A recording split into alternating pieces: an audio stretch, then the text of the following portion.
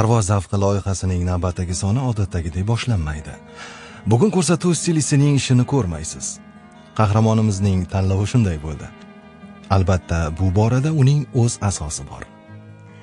Birinchidan man azal azaldan o'zi teatrda ham grimni o'zim qilar edim kinoda ham grimni o'zim qilar edim bu man o'ylaymanki mm, dastlab shu yoshligimdan endi agar shundan gapiradigan bo'lsam xoreografiya bilim yurtida o'qib yurgan paytimda praktikani navoiy teatrida o'tganman.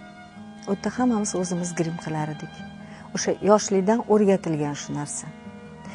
Har bir ayol man o'ylaymanki o'zini yuzini o'zi yaxshi biladi. Endi keyin man kosmetikani birov bilan hech qachon bitta kosmetika tutmaganman. Shu bois bo'lsa kerakda gulchehra jamiyeva bir ming to'qqiz yuz qirq oltinchi yili toshkent shahrida tug'ilgan. U otasi mannon aka va onasi farida opani chuqur ehtirom mehr sog'inch bilan eslaydi. Ular to'rt nafar farzandni voyaga yetkazishdi. Bu ikki ziyoli inson gulchehrada san'at bilan bog'liq ishtiyoqning uyg'onishiga ham sabab bo'lishgandi. Adam rahmatli judayam saramjon sarishtalikni yaxshi ko'rardilar. Shu hovlini shunaqangi chiroyli qilgan edilar. Hatto man o'zimga ham tanbih berib bunday tut mana bunday ushla yo shoshmay tur deb o'ttizta atirgulni o'zim ham ekkanman. Adam rahbarligida. Ana shu hovlida keyin keyin maktabga borishimdan oldin yolg'iz qolar edim uy poylab qolar edim akam opam unda hali singlim yo'q edi. Ular o'qishga ketar edida adam bilan oyim shaharda ishlashar edi. Endi u yer shahardan yiroqroq hisoblanar edi. Shunda uy poylab o'tirganimda eski patefon bo'lardi uyimizda. Ana shu patefon bilan ikkita plastinka qolgan edi. Cheti sal o'chgan edi bitta plastinkani. U ili ili yorim degan e, qori yoqubov bilan tamara opa tamara xonim aytgan ashula yozilgan bo'lgan plastinka bilan baju bavra filmidek plastinka edi. Shuni bilan o'zim o'zim ovutib o'tirar edim. Kunlardan bir kun adam rahmatli bizani olib bordilar navoiy teatriga balet spektakliga.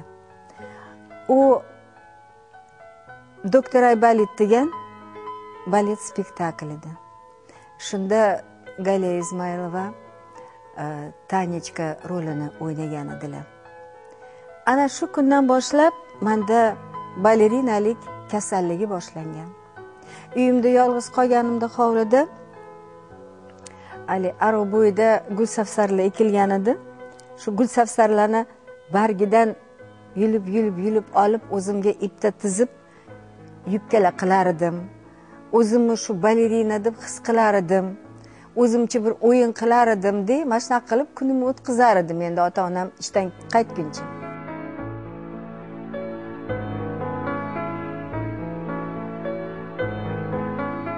Haqiqatda shu balet bilan kasal bo'lganligim tufayli mani adam e, xoreografiya bilim yurtiga olib keldilar. Unda man to'rtinchi sinf bitirgan edim.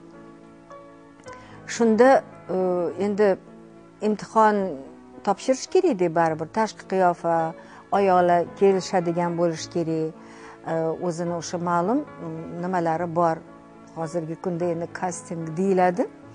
Shunda mm, birgalikda man bilan odam kelib qatnab yurdilarda bir kun keyin aytdilarki yo'q bo'lmaydi yig'ishtir? Ertaga qulog'ingdan kun ko'rinib qoladi. Bu yerda ovqat yemasdan faqat ertalabdan kechgacha o'yin tushaverar ekan. Bo'lmaydi dedilar. Deb mani olib ketdilar. Shu yig'lab pastga tushib kelayotganimda mani bir ayol to'xtatdida voy bu qiz nimaga yig'layapti? Qo'y qo'y yig'lama e, ashula aytishni bilasanmi dedilarda yig'lab turib ha deganim esimda. Shunda hozir shoshmay turing dedida mani olib kirib ketdi adam kutib qoldilar. Keyin o'sha yerda ashula aytganimni bilaman. Shundan keyin chiqib hozir bizda eksperimental maktab ochilyapti. Э, o'sha vokalniy bo'lim ochilyapti. Э, shunga bu nima qiladi dedilar adam. Ashula aytadi dedi. Ashula aytsa mayli dedilarda xullas mana shunaqa qilib man успенский muzika э, bilib yurtiga kirgan bo'ldimda shu yerda uch yilcha o'qidim. O'qishdan kelar edim maktabidan de solfeji darsi bo'lar edi. Vokalga ketar edim. Uyda qog'ozga yozib ketardik endi. Kim qayerga ketdi qachon qaytadini yozib ketardik. Man yozib ketardim solfeji darsiga ketdim deb. Shu bois mani uyda laqabim solfeji bo'lib qolgan. Maktab bolani e, maktab bola saroyidan e, bizni darsimizga bir ayol keldi. De ashula darsi edi. Shu yerda aytdilarki man o'sha e, nimani saroyni direktoriman. Bizada har yili e, bolalarga e, archa bayrami bo'ladi. Shunda biza hozir spektakl qo'yatruvdik spektakl ham ashulali bo'ladi chunki bu bolalar operasi. Shunga man qizlarni e, so'rab keluvdim sizda bormi shunaqa qizlar? Dedida shu man yana ikkita qizni tanlashdi nasiba ro'za degan qizni tanlashdida E, repetitsiyaga qatnashsin deyishdi. Biz saroyga keladigan bo'ldik. Kunlardan bir kun e, biz endi birinchi yanvardan boshlab spektakl o'ynashimiz kerak. U spektakllar hammasi bu archa bayramilar bo'lishi kerak sverdlov teatrida filarmoniyani teatrida. O'sha kuni biz topshirishimiz kerak edi. Topshiradigan hokimiyatga topshiradigan paytimiz u e, teatr band bo'lib qolib aynan mana shu binoga biz keldik. Mana shu binoda mana shu sahnada shu spektaklni shu umuman butun o'sha raqslarimni ham ishtirok etadigan hamma maktab bolalar ishtirok etadigan butun programmani biz topshirdik. Bu kech boshlanganligi tufayli biz kech qolib ketdik. Soat kechqurun o'n yarimlarda ana shu yerdan chiqdik. Esimda bor bu yerdan trolleybus yurar edi to'rtinchi trolleybus turdim turdim alanglab. Man endi nimani oldidan ketar edimda bizni kurantimizni oldidan uyga. Keyin qorong'i tushib qolgan qor yog'ya boshlayotgan edi mayda. Keyin qanaqasi ketasan deyishdi. Man aytdimki man endi lunacharskiyga ketaman. Bu yerdan uzoq bo'lmasam trolleybusda yetib olgin yarim yo'lga deyishdida shu trolleybusga o'tirib hozirgi hamid olimjonga bordimda tushdim u yog'iga trolleybus bormaydi biz tomonga. Yolg'iz keyin piyoda ketganman. Endi tasavvur qiling o'sha kuni. Yangi yil arafasi man uyda yo'qman butun oilam ko'chada. Piyoda bitta o'zim ko'chada ketib soat birdan oshganda yetib borimman. Bilmayman qanaqa e, bordim qanaqa yetdim ko'chada hech zoyi yo'q. Qor yog'yapti.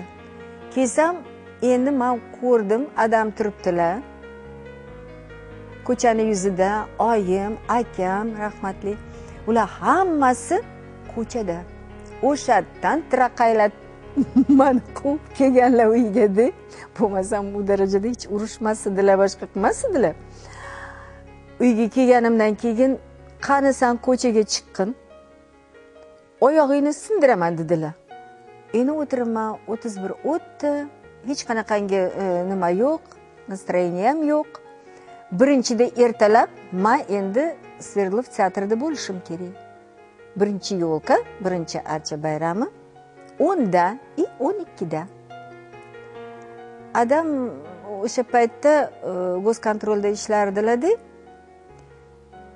ertalab endi vohli ular ketdilar. Yig'ladim aytdim oyimga yalindim. Oyimlar aytdilarki otlan nima bo'ladi endi kechqurun desam otlan. Birovlarni hech qachon anaqa qilmagin ular sanga ishongan. Ishongan odamni aldamagin deb o'zlari o'rgatganlar adang. Bor faqat yetib kelasan kelgunlaricha dedilar. Bordim o'ynadim ikkita archani o'tqizdim uyga yetib keldim o'tiribman bir mahalda adam ishdan keldilar ovqat yedilar boshqa qilib bolalar yedimi? deb so'raydigan odatlari bor edi. Ularga ovqat olib kelib qo'ysangiz bolalarchi bolalar yedimi dirdilar. O'zizchi dirdilar oyimlarga. Ana pari dedilar oyimlarga. Oyimni pari deb chaqirardilar. Ana pari ko'rdingizmi? Man borib ko'rdim archa bayramini. Hamma bola milto'day. Hammasi ana bitta qiz ashula qildi milto'day ashula qildi. Bu yuribdi. Ertaga ko'rasan bu itni keyingi oyog'i bo'lib qoladi bunaqada. Hali u yoqqa hali bu yoqqa boradigan bo'lsa. Hali salperja deydi hali e, krujoy deydi. Bu nimasi? Daraxt bir joyda bir joyda ko'karadi. Dedilar endi sezib turibman manga eshittirib gapiryaptilar endi man boshqa xonada bo'lganligim uchun. Jimlik. Bir mahalda oyim hech gap qaytarmas edilar. Bir mahalda siz tanimadingizmi? dedilar. Yana jimlik eshitib turmayni narigi xonada o'sha miltodek ashula aytgan o'ynagan qiz mani qizim sizni ham qizingiz dedilar. Jim bo'lib qoldilar adomati o oh, hozir mana endi urishsalar kerak astoydil urishsalar kerak desam jim bo'ldilar o'shandan keyin tavba na unda ham demadilar bunda ham demadilar o'shandan keyin man bemalol ham krujokka qatnadim. Ham mm, muzika bilim yurtida o'qib yurdim.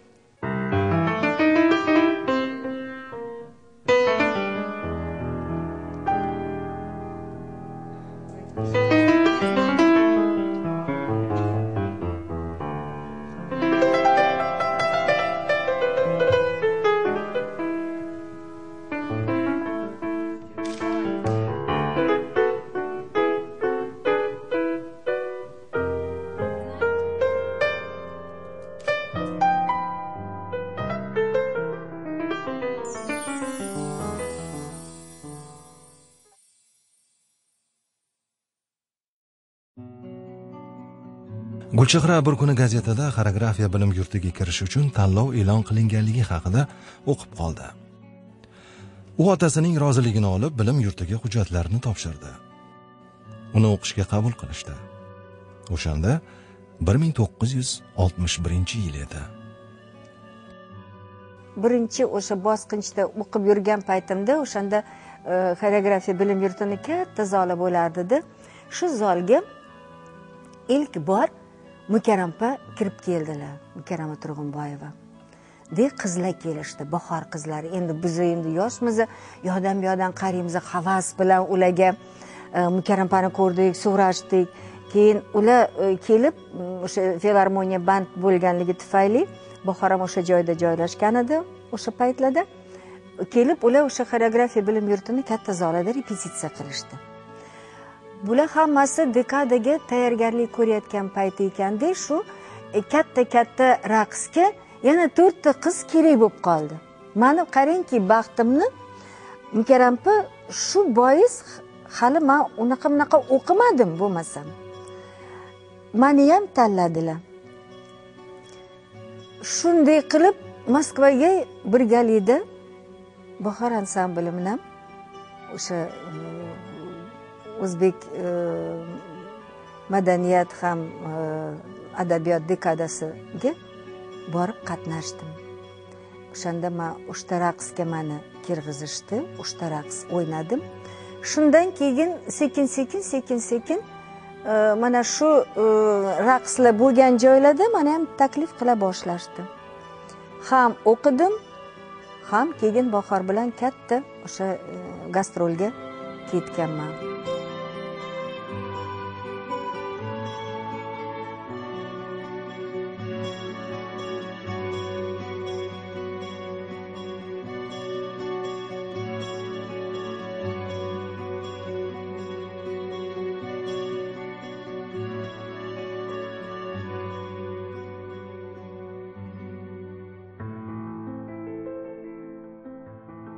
Bir tomondan oyog'ining lat yegani boshqa jihatdan o'z raqslaridan ko'ngli to'lmayotgan gulchehraning rejasi o'zgardi. U ko'nglidagi istakka bo'ysundi teatr va rassomchilik institutiga o'qishga kirdi. Karampa yomon xafa bo'ldilar chunki oyog'imni davolashda juda ular ham yaqindan yordam berardilar. O'sha paytda mumiyo endi endi qo'llanayotgan payt edi. Shu mumiyoni ham topib manga shu tuzalsin. Deb rosa harakat qilgan edilar mukarrampa yoki institutga kirib ketdim. Institutga kirgandan keyin birinchi kursda filmga taklif qilindim. Abbasov qalbingda quyosh filmida. Shunda birinchi bor sochimni oyim rahmatli kesib qo'ydilarda o'zlari. Sochim qalin edi. Mukarrampa ayniqsa shu farg'ona vodiysiga borganimizda mayda qilib o'rib qo'yishni yaxshi ko'rardilar. Man bilan sanamxonni nuqul sochimizni mayda o'rib qo'yardilar o'zlarida shu gastrolda mayda o'rganlaricha yurardik. Mana shundoq ko'rdilar moskvada chaykovskiy zalida e, konsert bor edi. Shundoq qaradilarda opa assalomu alaykum desam aynibsiz dedilar teskari qarab ketdilar. Bir yilgacha man bilan gaplashmay yurdilar sochimni qirqqanimga. Shundan keyin e, bir qancha vaqt o'tdida so'ng e, uchinchi kursdan hamza teatriga bizni taklif qilishdi.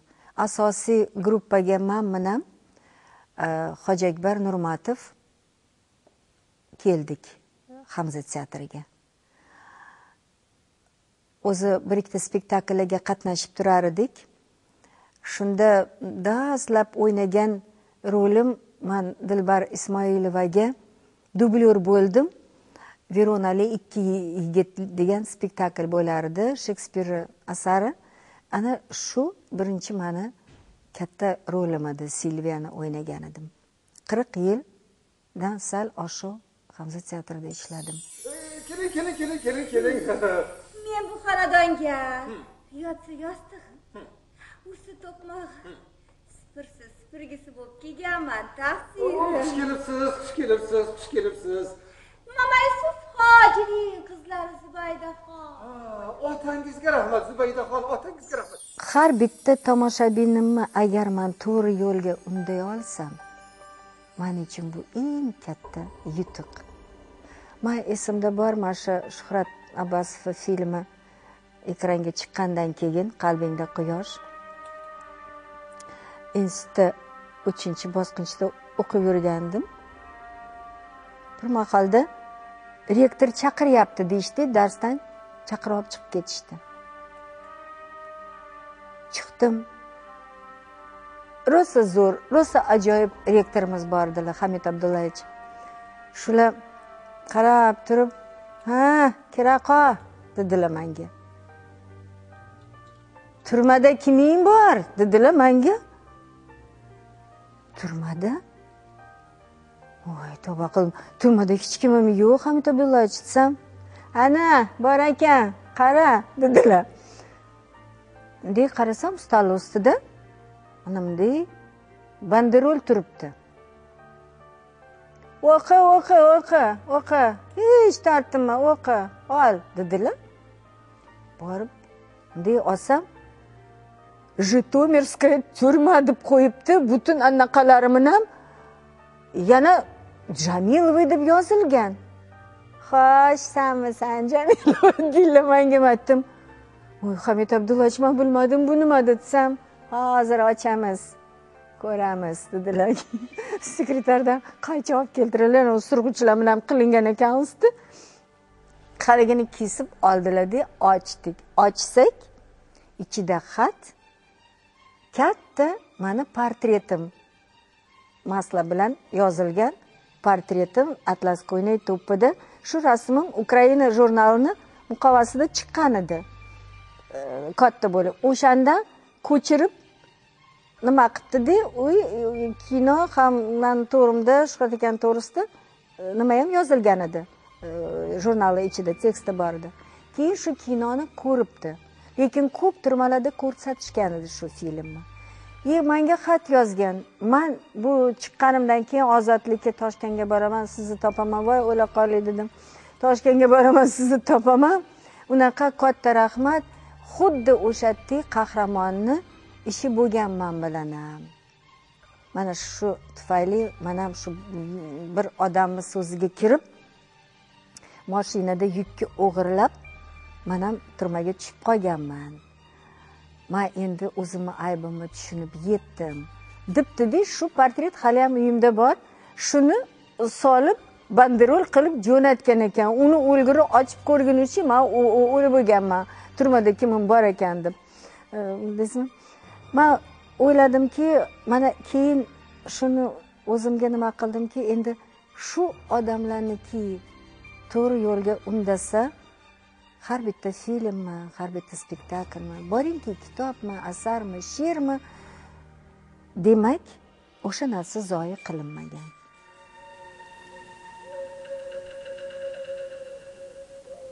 Olloh demagan qalbga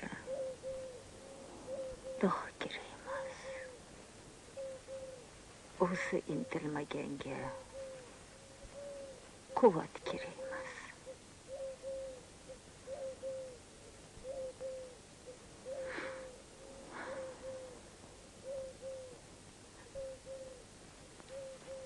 bergan sinovlaringga bardosh berolmagan bandalaringni o'zing kechir.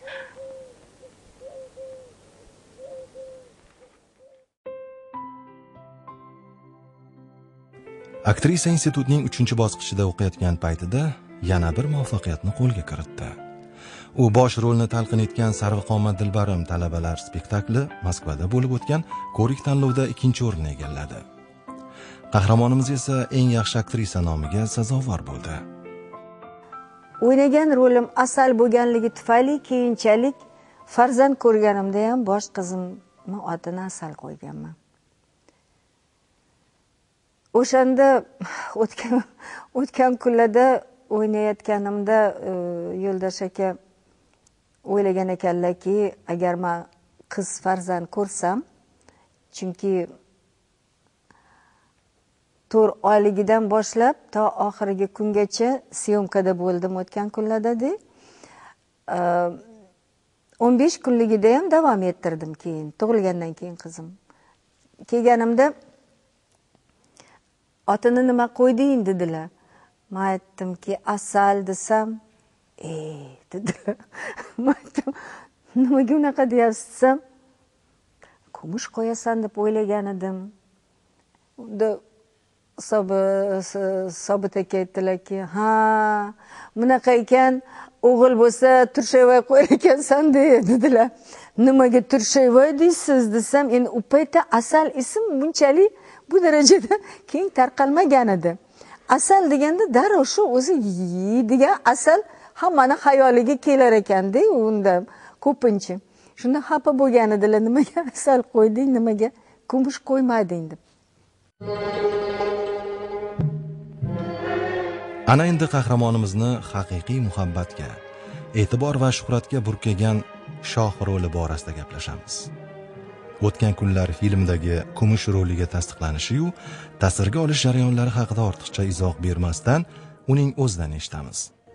Endi avvalo bu rolga mani dastlab chaqirishmagan ham shunaqangi ko'p kumushlarni taklif qilib ko'rishgan ekan.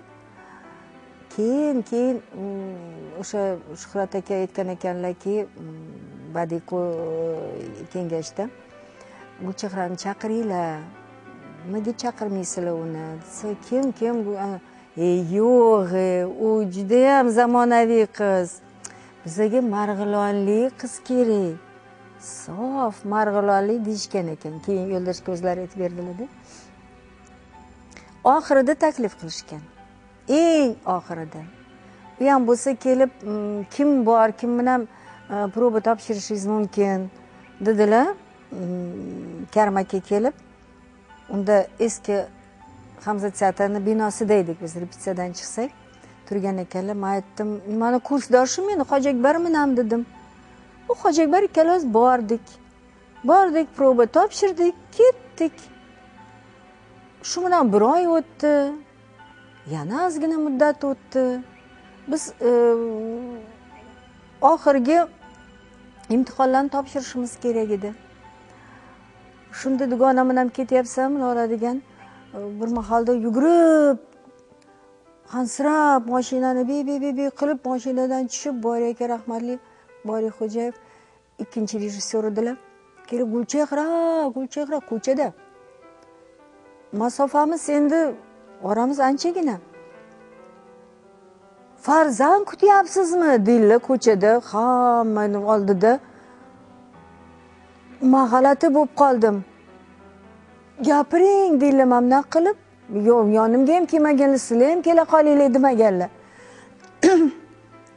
Man aytdimki qilsam ey dedilar deb mashinaga o'tirganda ketib yubordilar keyin yana birpas bir haftami ikki haftami yana orada o'tdi vaqt. Keyin mani chaqirishdi. Chaqirishdi keldim. Xonada o'tirib turing dedilar. Keyin yo'ldosh akam nimagadir anaqa asabiylashganlarda bu mahalda kirdim.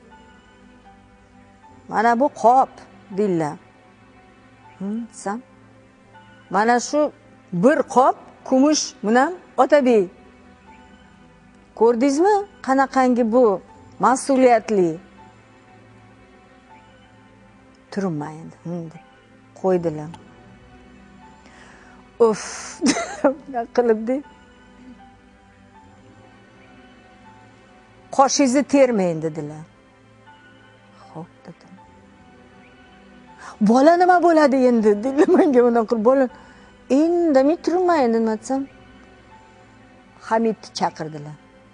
Hamid grimyor bu nima qilamiz endi? Bu dopo tushmaydimi bu? Nima bo'ladi bu endi? Deydilar manga qarab man endi qayerdan bilaman?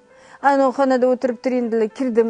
Xonada o'tirsam karim aka kirib mana bu kishi o'lmas alixo'jayev u otabek assalomu alaykum dedim assalomu alaykum o'tirdim ichimda nima deyman endi shunda voy xudoyim ey tavba qildim ey kelib kelib otabek shunaqa bo'ladimi nimaga boshida cho'chi yo'q kal deyman o'tirgan joyimda ichimda endi aytdim indamay o'tirmiz ikkalamiz endi bir birimizni tanir edik salom deb o'tib ketardik xolos o'tiribman o'tiribman ay xudoyim ey tavba qildim ey qayerdan man keldim betga deyman yana unisi qoshing terma desa bunisi anaqa desa mana bu kal o'tiribdi indamay deyman yana. Qildi keyinchalik bilmaganmanki musulmon erkaklari umuman sochini oldiradi dedi. Mana bu narsa man uchun bu ham bir maktab bo'lgan keyinchalik. Keyin bilganmanki shu sochini aynan shu rol uchun oldirgan ekan. Shuning uchun ham u kal bo'lib o'tirgan ekan. Voy tavba qildim.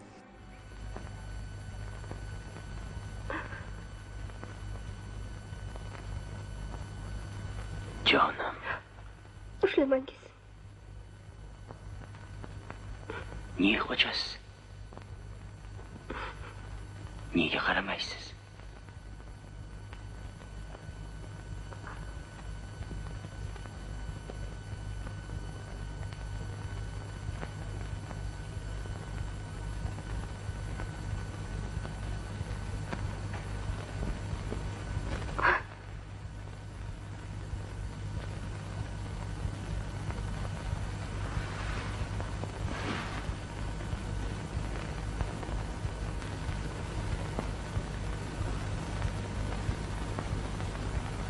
siz o'shami ha men o'sha mana shunaqa qilib sekin asta sekin asta mana shu kinoda o'ynaganimda buyuk buyuk artistlarni soyasida o'ynadim. Bulardan haqiqatda man judayam ko'p narsani o'rgandim. Hovliga kirganda paranjini yechib qo'lga olish durrani bunday qilsang yalang oyoq bo'lasan. Bunday o'rasang o'sha e, shoxlarga yaqin bo'lasan. Bunday o'rasang boyvuchcha bo'lasan. Bunday o'rasang e, farzanding bor bo'ladi. Mana shularni hammasini mana shu aktyorlardan o'rgandim. Keyinchalik manga yana bir maktab bo'ldiki. Biz e, xastimonda syomka qilayotganimizda endi endi bu buyog'iga faqat mana bunday olishyapti endi. Iloji bo'lsa shu крупный plan deydi yoki поясной deydi mana bunday qilib. Bir mahalda saboxona opa bordilar karimova o'zbekiston xalq artisti biz ular bilan shu oltin devorni ham o'ynaganmiz dastlab oltin devorda ular o'ynagan edilar. Gulchehra kim o'rdi sochingizni dedilar menga o'zim dedim. Endi biza bahorda o'rganganmiz ulama sochni o'zimiz ham bemalol taqib nima qilardik? Oldin o'zim sochim bor edi o'rardim keyin ulama taqishni ham o'rgangan edim. O'zim desam qildilar bunday qilib.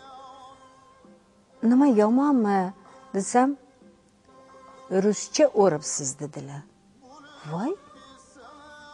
Soch o'rishsa ruscha o'zbekchasi bormi? Saboxon opa desam? Dedilar. Endi nima bo'ladi dedim. Endi nima bo'ladi? Endi kadrga qanaqa bo'ladi desam? Endi ba'zi bir xil joyda sochim kalta qalin bo'lganligi tufayli uchlari chiqib qolgan tikilar deb o'lgur tikib tikib qo'yilardi endi vaqti yo'q. Haligi ikkita oldidagi sochni so'kib boshqatdan ulamani manga o'zbeklar musulmonlar qanaqa sochni o'radini o'rgatganlar o'shanda. Ana bu ham manga bir maktab bo'lgan. Albatta tuzalib o'tasiz. Tinchlaning. Otabek.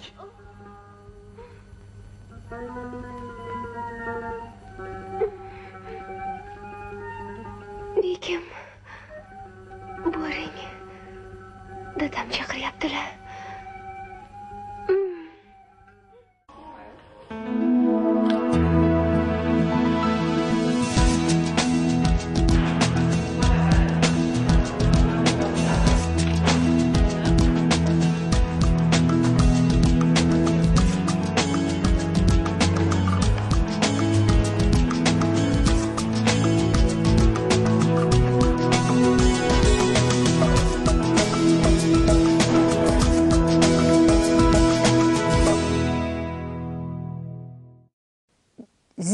ziyrak bo'lgindirdilarda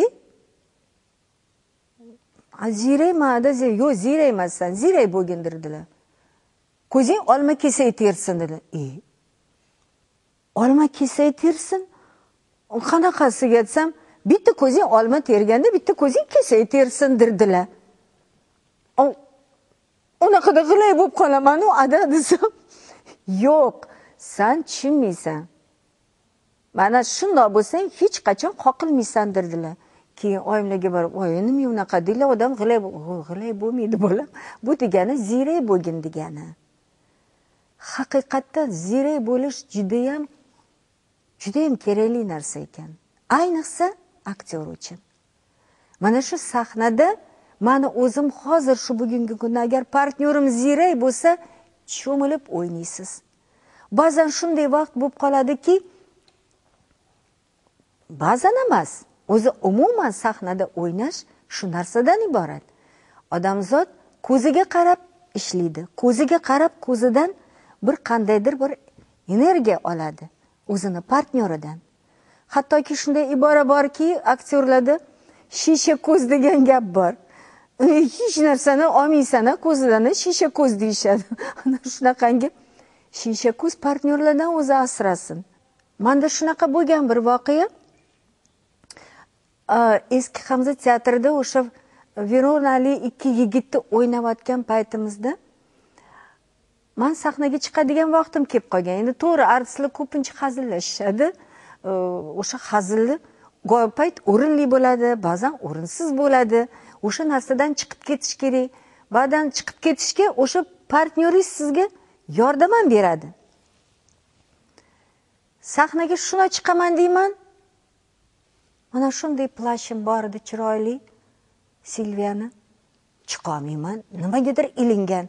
Bunday qaradim bu yoqqa qaradim. Hech narsaga ilinmagan. Yana sahnaga chiqishim kerak. Chiqaman deyman yana chiqolmayman. Nimaga qattiq ulangan? Boshida kapyushoni bor. Chiqaman deyman chiqaman bundoq qarasam mana bunaqa qilib yoqub aka jilmayib turibdilar ahmedov. Mana bu joyimdan qayerdan olganlar bilmadim unaqangi to'nog'ich mana shunday to'nog'ich bilan mani padugaga qadab qo'ygan ekanlar jo'rttaga hazil shuni olib sahnaga chiqdim deb gapim yo'q. Yo'q gapim. Turibman obid aka gapiryaptilar. Obid akadan keyin bitta qaroqchi gapiradi keyinchalik mani gapim apart ketadi. Sahnani burchagida turibman zolga gapiradigan gapim bor. Hech narsa yo'q oting nima desa ham aytolmayman o'shanda. Yo'q hech narsa yo'qde bir mahal turibman ichimda endi ey xudo ey xudo ey xudo ey xudo ichimda gapir ey xudo. Keyin bir mahalda ey xudo deb yuborganman shu ekan mani gapim o'lsin. Shu kelgan keyinde nima qilaman buni qarang lekin o'sha bilinmadi. Qancha vaqt man jim turdim o'sha vaqtda man odoy tomon bu bo'ldim. Voy oy zo'r gulsin sizda. Voy voy bo'ylaringizga bo'ytumor voy man multfilm kelinimdan o'rgulay. Ay qoqimdi ani katmonchani ochingdi ichidagi hamma narsani mana bu yoqqa sochingchi qani qani qani qani qani. Sumkamni ham ola qoling o'zim o'rgulay sizdan kelinlar qo'zg'oloni man spektaklida o'ynaganman ko'pchilik bo'lganligimiz tufayli bechora bahodir yo'ldoshev ham miyasi achib ketar edi. Endi shuncha erkak shuncha ayol hammani yana dublyori bor boshqa bor bir talay odam yig'ilar edi. Keyin endi bir narsa qilish kerak hammaga xarakter topish kerak. Man aytdimki man nima qilaman desam shoshmay turing dedilar. Yana keyin birozdan keyin tak muhayyo eding a man aytdim ha. Atelyeda ishlaysan bo'ldi boshimni qotirma atelyeda ishlaysan uni keyin nima nima sadahmat aka bu kelinni juda yaxshi ko'radi nima qaynanasi juda anaqa bu nimaroq tannozmi nima o'zi u yo'q tannoz emas anaqada xullas erkatoy bo'ldi manga xarakter topildi endi atelyeda ishlaydi erkatoy demak erkalanib gapiradi. Deb dastlab o'ynaganimizda endi bu afsus spektaklda yozib olinmadi lekin dastlab sochimimda tang'ir edim man bitkada kichkina kichkina biguzilar topuvdim.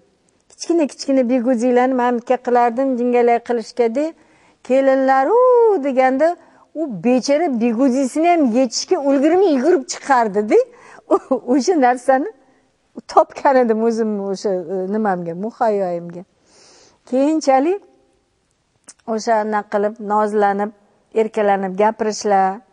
Mana shular paydo bo'lgan edida hammasi. Bir xil bir xil gaplarni o'zimiz topar edik. Artistlar o'zi anaqa qilib ketar edi. O'zidan o'zi kelib qolardi shu gaplar. Mana nima anavi qattiq quttiq nonlarni ham yeyglar deganlarida e, zaynab ham voy oyijon bo'ktirib bo'ktirib yeymiz o'zimdan chiqqan shu narsa. Endi bu bitta man emas hamma artistlar o'zi topgan edi. Esimda kelinlar qo'zg'olonida bir kun o'ynayapmiz. Kichkina farhod deymiz sahnada turibmiz. Ko'zim ko'zim chiqqan bunday yonimda turibdi.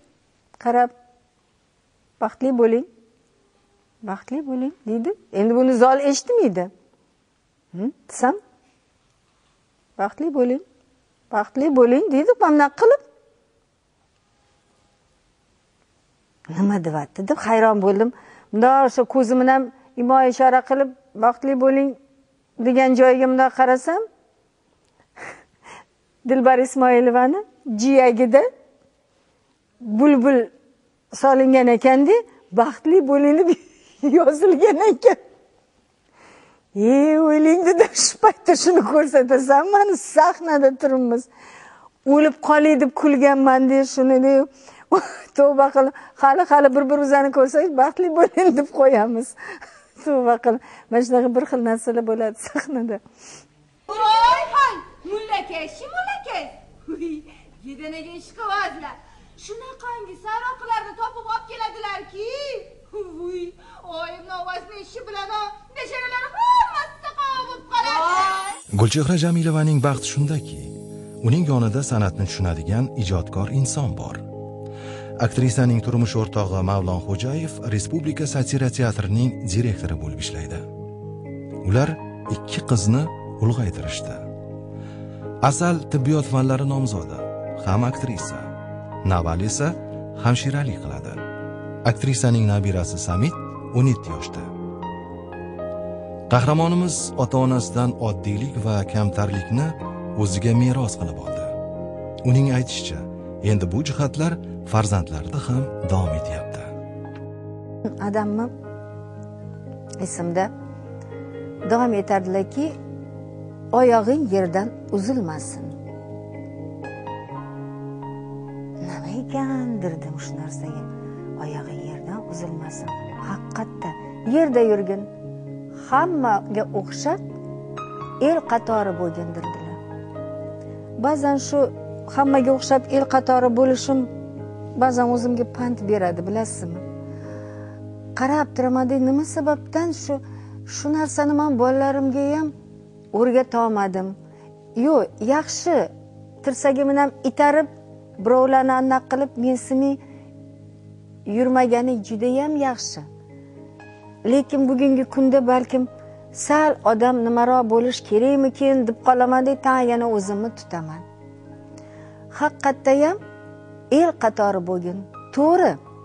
Chunki mana ko'pincha avtobuslarda ko'rib qolishadida hozir endi o'rganib ketishgandir mashinasi yo'qmi? Nima mashina hamma endi hozir mashinada yuradi. Albatta taniqli odamlar emas mashinada yurish kerak o'zi. Manga bu narsa hech xalaqit bermaydi. Man o'sha el qatori avtobusga ham chiqib ketaveraman. O'sha oddiylik kamtarinlik oyog'ini yerdan uzmay yurganga hech narsa yetmas ekan baribir. Shu narsa bolalarimda keyin ko'rdim. Yettinchi sinfga o'tganda katta qizim kinoga taklif qilishdi. O'ntacha kinoda o'ynadi. Keyin man e, indamay yurdi maktab ham bilgani ham yo'q. Keyin man hindistonga e, sevgi e, sevgi afsonasi bilan ketganimda syomkaga salakam bir oydan oshiq bo'ldik u yerda qaytganimda so'radim qizlarimdan. Domlalar so'rashdimi oying kelmay ketdi maktabga? Desam yo'q dedi. So'rashmadi dedi. Man aytdimki kimdir bildimi вообще bordimmi bormadimmi desam yo'q dedi. Hayron bo'ldimda man aytdimki hech kimga aytmadingmi oyim kinoga tushyapti hindistonda desam nima keragi bor dedi. Haja yaxshi dedim so'yindim endi qarang bir muddat o'tgandan keyin nabiram kichkinagina rolcha o'ynadi oyisi bilan de kinoda.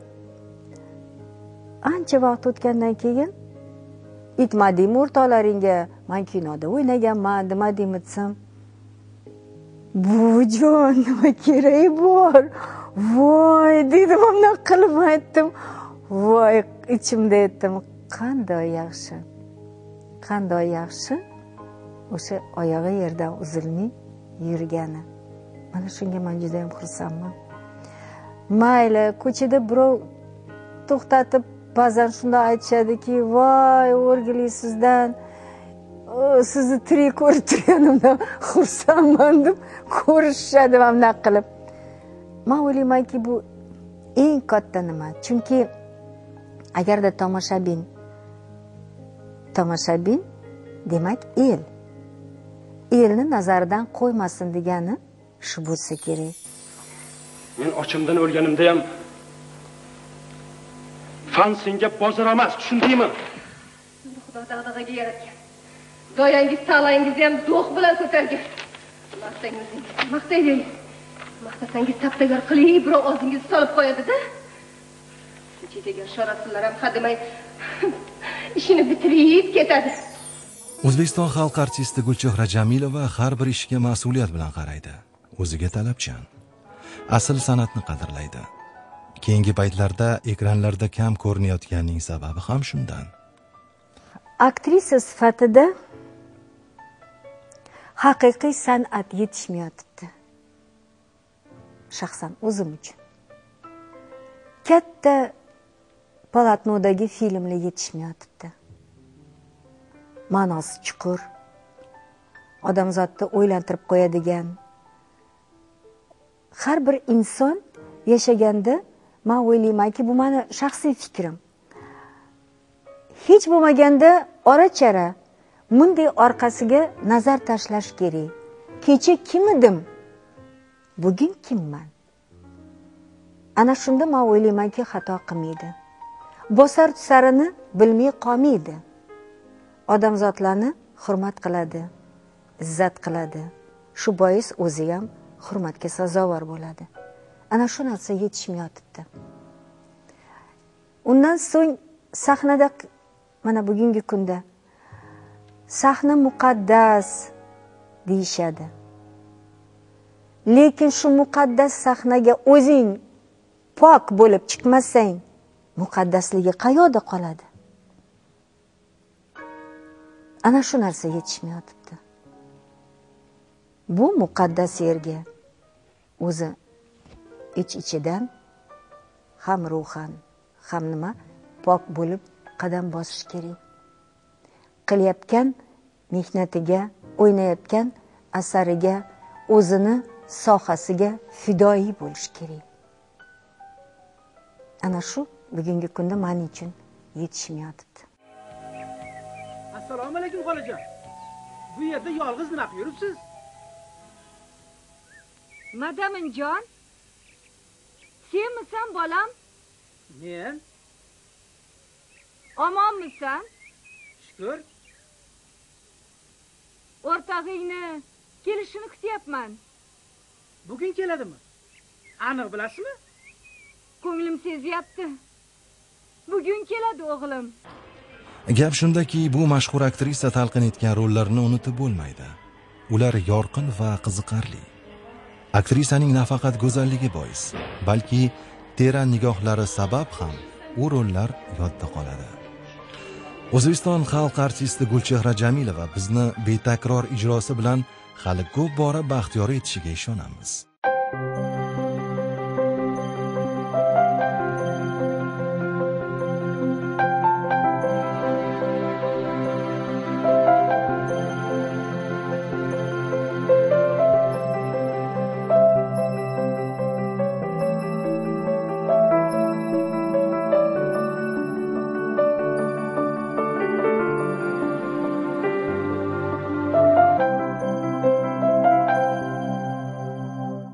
Loyihamiz hamkori mega max media